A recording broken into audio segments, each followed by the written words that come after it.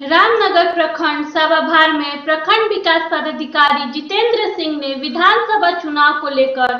Sector पदाधिकारियों के साथ किए बैठक। न्यूज़ नाइन टाइम्स, रामनगर से डीएन शुक्ला की रिपोर्ट। रामनगर प्रखंड विकास पदाधिकारी जितेंद्र सिंह ने बताया कि सभी बूथों का भौतिक सत्यापन करते हुए पानी, बिजली, रैंप आदि का निरीक्षण करना है। और जिन बूथों पर किसी भी प्रकार की असुविधा हो तो इसकी सूचना वरीय पदाधिकारी को अविलंब देना है। आज विधानसभा बाई इलेक्शन लोकसभा चुनाव की तैयारी के लिए हम और डीएसपी साहब, सीओ साहब सब लोगों ने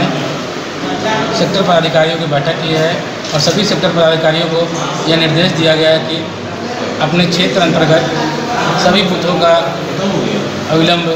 भौतिक निरीक्षण करेंगे और रैंप पानी की सुविधा, आवागमन की सुविधा, कुर्सी, टेबल की सुविधा, इन सब के बारे में जाँच करेंगे और कोई ऐसा व्यक्ति